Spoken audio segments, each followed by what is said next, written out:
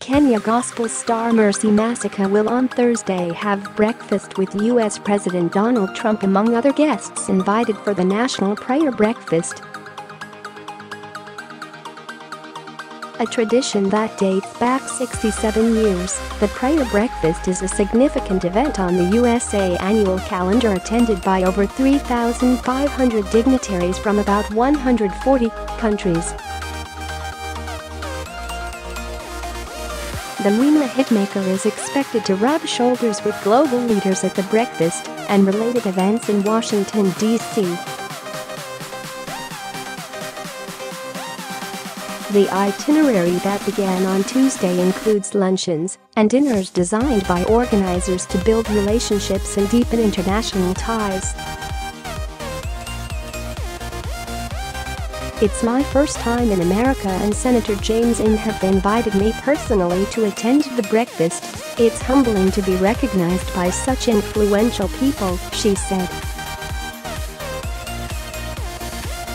She added, I will also get a chance to perform at the reception dinner on Thursday that will have dignitaries from around the world.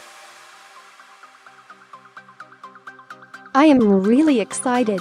Meeting and ministering to dignitaries from all over the world is a big deal for me. While in the USA, she will also perform at the KCFA Community Service in CITAM, USA. Her tour comes at a time when the gospel fraternity is facing serious scrutiny after recent scandals.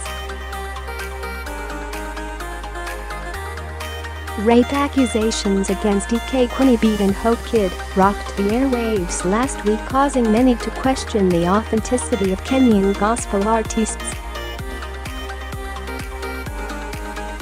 Fellow gospel artist Size 8 also felt the wrath of Kenyans on Twitter, caught when in her attempt to help the situation she appeared to sanitize rape. It is an issue that is close to my heart, and a lot has already been said. When we face an issue of this magnitude sometimes we can be tempted to dwell on the problem and lose sight of the solution. We must go back to accountability in the ministry and submitting to authentic spiritual authority. said Masika.